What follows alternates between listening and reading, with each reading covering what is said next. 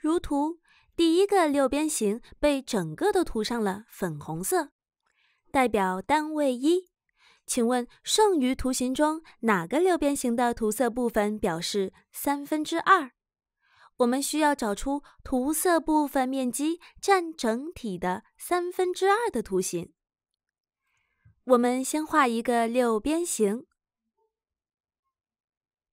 并把它平均分成三份。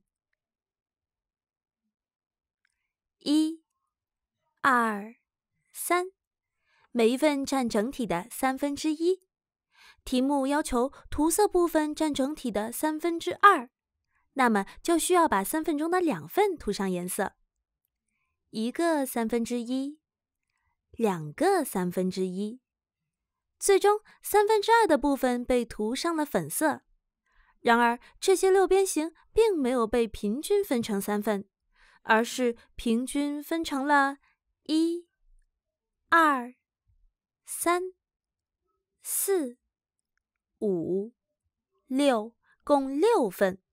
请问六块中有多少被涂上颜色才能表示三分之二呢？我们可以把这个六边形平均分成六份，也就是把这三份都再对半切，总共分成六份。现在六份中涂几份才能表示三分之二呢？如图，涂色部分和刚刚一样，没有发生改变。总共有一、二、三、四，四份被涂上了粉色，所以六分之四等于三分之二。那么现在我们就需要找到选项中哪个六边形被平均分成了六份。并且有四份被涂色，它也就相当于三分之二的部分被涂了粉色。首先，我们来看这个六边形，六份中的四份被涂上了粉色，所以这个图形中被涂色的部分表示三分之二。这个六边形只有两份被涂上了粉色。所以，图中被涂色的部分占整体的六分之二，而不是六分之四。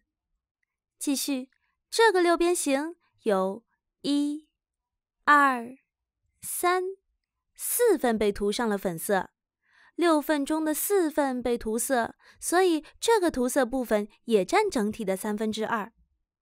最后一个六边形有一、二、三。